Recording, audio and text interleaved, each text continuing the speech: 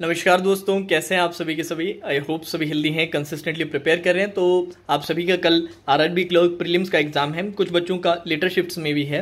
But जिन बच्चों का कल एग्ज़ाम है, उन सभी से मैं कहना चाहूँगा कि अपना बेस्ट देने की कोशिश कीजिएगा।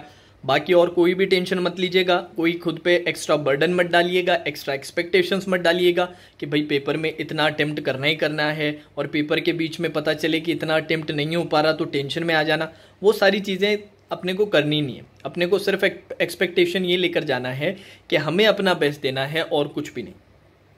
ठीक है जी? पेपर आपका 45 मिनट्स का पेपर है 80 क्वेश्चंस पहले।